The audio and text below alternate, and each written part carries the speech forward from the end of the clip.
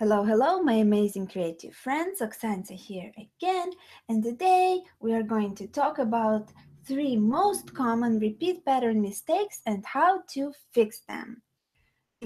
I'm going to talk about vector repeat pattern designs, but these actually apply to uh, most repeat patterns, no matter of the medium the only thing that uh, some, of course, they might not apply to geometric patterns that you want to create with um, exactly with the same elements that I am uh, going to uh, talk about. Basically, some mistakes that will appear to the that will that can happen in the scattered pa pattern, and this is the pattern composition that you see on top of my uh, page here in, on top of my uh, presentation here uh, featuring roses.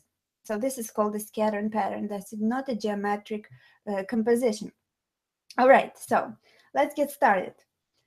Uh, the, I receive many, many emails, people asking to um, to tell them, uh, give them a feedback about their repeat patterns. So um, I compiled three most common, common mistakes that I was making myself when I just started designing repeat patterns. So there's not a big problem if you see these mistakes, uh, but sometimes they happen just by um, it just happens but uh, if we learn how to have an eye for these mistakes and uh, really look for them especially in the beginning over time it will become a second nature and you will not have to think about them much more uh, so uh, let's get started. The first mistake that I often see people make is uh, to have too many instances of instances, excuse me, of the same element. So too many of the same element on the page. And I will show you what I mean in a second.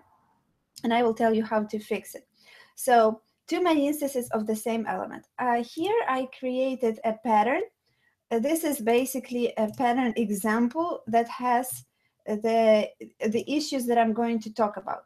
And what I mean by the same too many instances. So basically, do you see these all of these roses? If I go into the double click on it, so and basically go inside the group, uh, probably it would be better to actually ungroup it two times. Uh, one time is enough. Okay.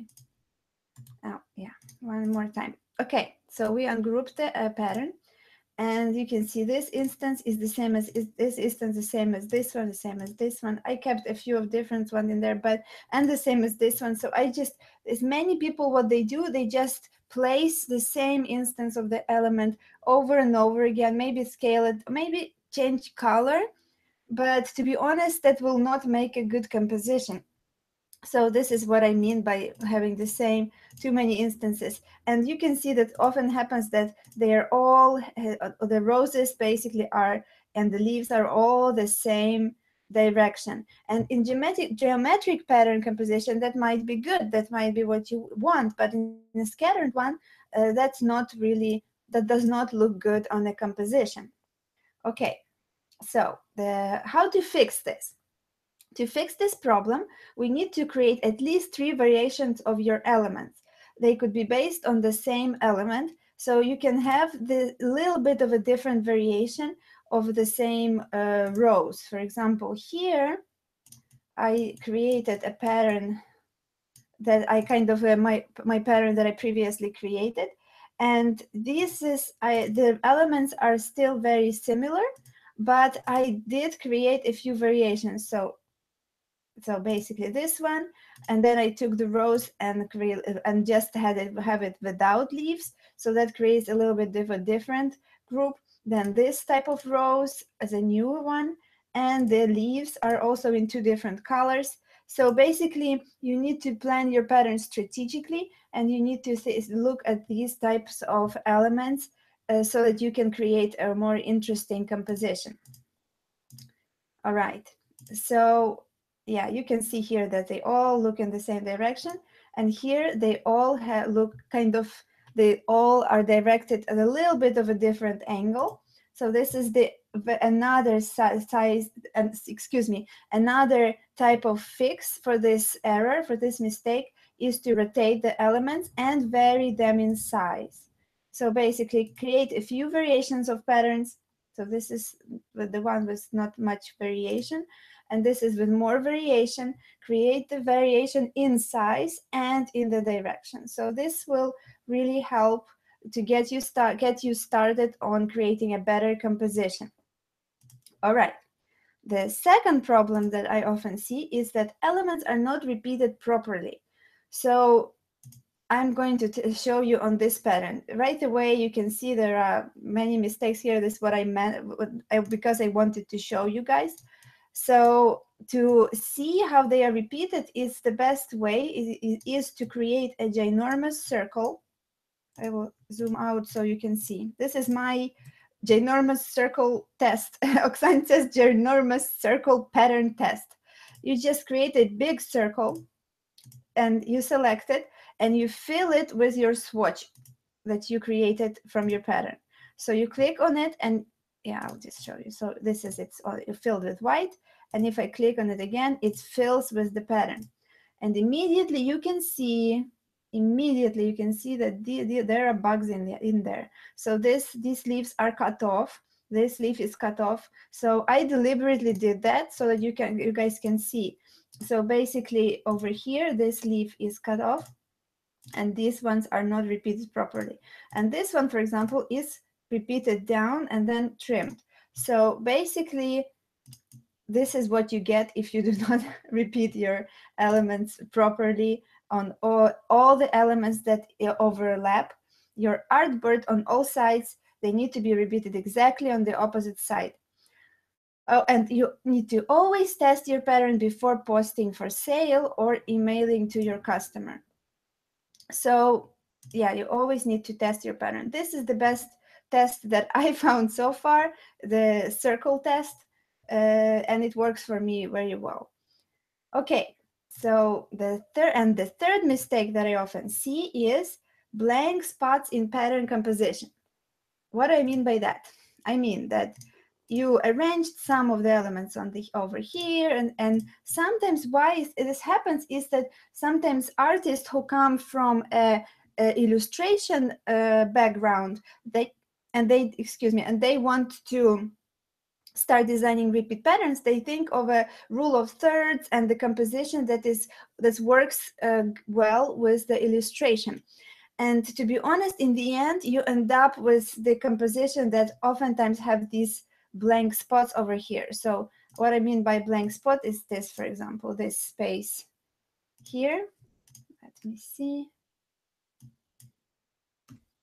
So kind of a, over a, a spot over here and potentially over here might make a good example of a blank spot.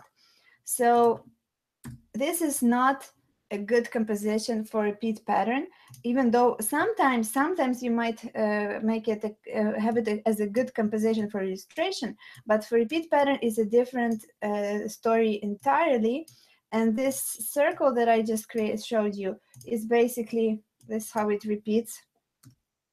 Here so you have it here and then you have it here here and here. So you can immediately see that let's do for example 30 percent that this is this kind of blank spots and there is actually one over here the smaller one. So this will not well work well you can see them. There you go. So this is basically these kind of issues they will not look good on pattern composition. So this is the last mistake that i wanted to talk to you about today. How to fix it. So the blank spots how to fix it. Uh, there are two fixes that come to mind immediately is the move elements to fill the blank spots and add smaller elements like leaf, leaves or dots to fill the blanks. So if we go back to this composition here, so we, we would what we would do to fix the uh, composition is we would we would kind of move the elements. But again, this again has to be uh, rotate it and then adjust it and I would actually add different elements uh, in there like leaves or smaller flowers. So for example, this one could be here and I could scale it down and I will I would rotate it so that you can fill it up with different um, with different elements. and then you would take this one and repeat it exactly over here. But in this case, yeah, that's this was an example of a wrong pattern. So I will I fixed it by creating a, to a totally new pattern and you can see here that it does have some smaller spots, but this is the type of composition that I wanted with some negative space in between.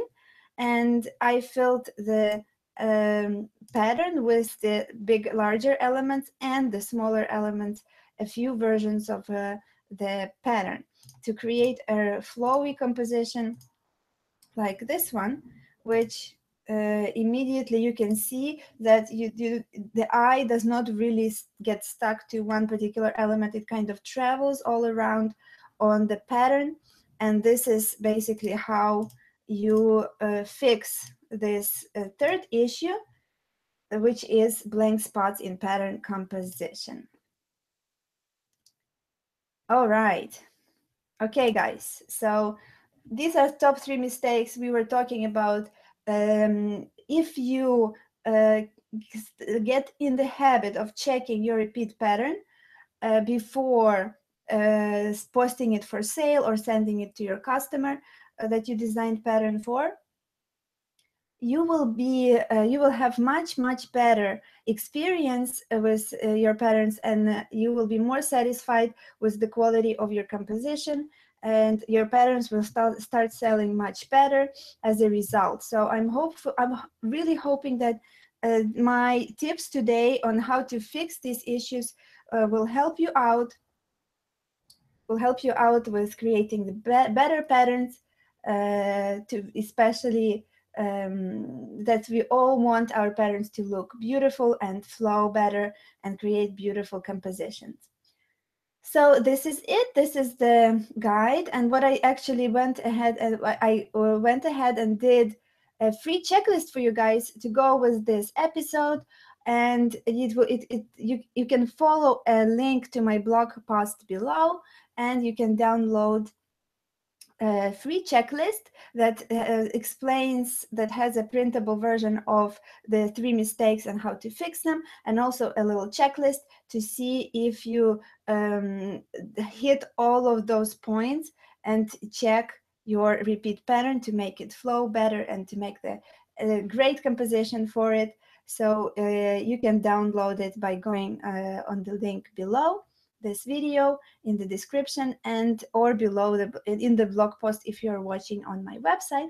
And by the way, if you are already a subscriber to my new, uh, newsletter, you don't have do not have to uh, download it from my website because I will send you the free checklist today after I'm done with this video so that you guys, everyone on my email list can have this checklist too and I'm really, really hoping that it will help you guys out. I really would want uh, to have this type of checklist for myself when I was starting out, but there were not, none at that time. So yeah, this is it, guys. Thank you so much for watching my video. And uh, uh, in this at this point, I want to finish my tutorial portion of this um, video and just want to jump into into the uh, chat and see if I can find uh, any comments from you guys or answer any questions. Uh, let's see. Oh, we do have some friends in the chat today. Hi, Kristen. Hi, Sido. Hi, Tashdar. Hi. Hi, guys. I really like it that you are here. I'm so happy to see you. And uh, Kristen says, Hi, Oksana. So glad that I can finally catch uh, one of the, your videos live. Oh yeah, I'm so happy to, for you uh, to be here. Thank you very much, Kristen. And I saw your videos live recently, and you you are awesome. I really love your videos. They are very cool, and I recommend everyone to check Kristen out. Um, all right, the first time I catch a video of you. Hi. yeah, thank you, Ciro. I'm hoping that you find uh, my uh, tips uh, about checking your repeat patterns useful. Uh, Tajdar, nice to see you live. nice to see you too, guys. I'm always enjoying having you here. Oh my goodness, yeah. So um, it's been it's been a lot of uh, a lot of work recently as I've been trying to to to kind of um, implement a few things that I found uh, online. Uh, a few of them are in pattern design, but a lot other others are a lot of creative, running a creative business. So I'm hoping to share uh, some feedback of some kind of results of what I do in the future. But at this point, I am happy that I decided and put, put together this video. Hopefully it will be helpful to you for you guys. All right, I think, um, thank you once again, everybody in the chat. If you have any questions, I will wait a few, uh, um, um, a few moments here to see if anybody has any questions. Uh, other than that, uh, I will be finishing up soon so that I can uh, put together a newsletter for you guys and you can have the checklist in the email inbox. Let me see. All right, I don't see any more uh, comments or questions from you guys, and I really, really appreciate you being here. I'm always super excited to catch everyone live, and I'm hopefully I will uh, see you guys uh, pretty soon in the next video. All right, guys, uh, thank you for being here. Uh, bye-bye.